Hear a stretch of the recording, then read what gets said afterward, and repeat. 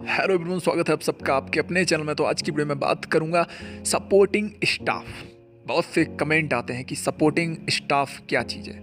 तो सबसे पहले मैं सपोर्टिंग स्टाफ के बारे में थोड़ा बताऊँगा कि ये मतलब क्या होता है, इसका क्या काम है।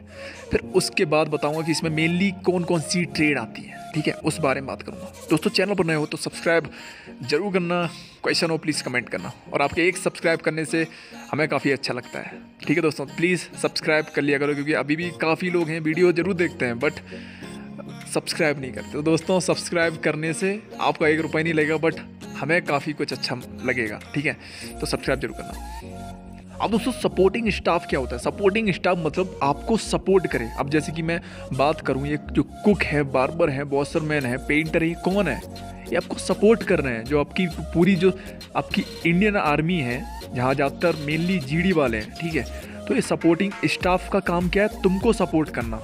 ठीक है? अगर आपको आ, क्योंकि जीडी का बंदा खाना नहीं बनाएगा तो उससे सपोर्ट करने के लिए खाना बनाने वाला कुक होगा।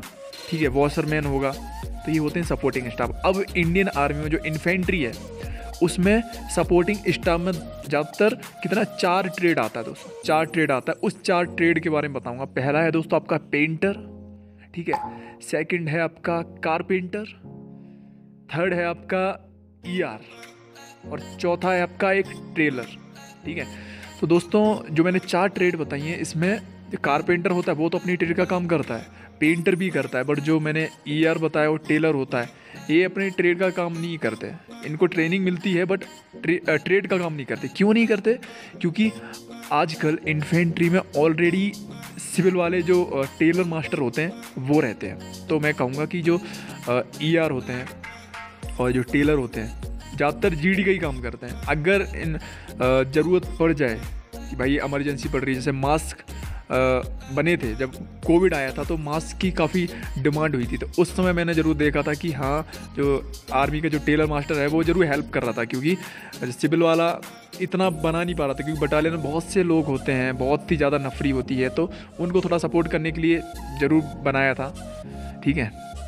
तो वैसे ये होता है दोस्तों, सपोर्टिंग स्टाफ।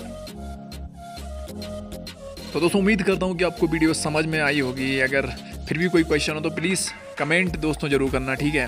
और चैनल को सब्सक्राइब ज़रूर कर लेना, ठीक है? और हो सकता है भर्ती आने वाली हो तो उसके लिए अपने आप को पहले से तैयार रखो, अपने रिटर्न एग्ज़ाम अपना फ़िज़िकल तैयार रखो। ठीक है दोस्तों? जय हिंद, जय भारत।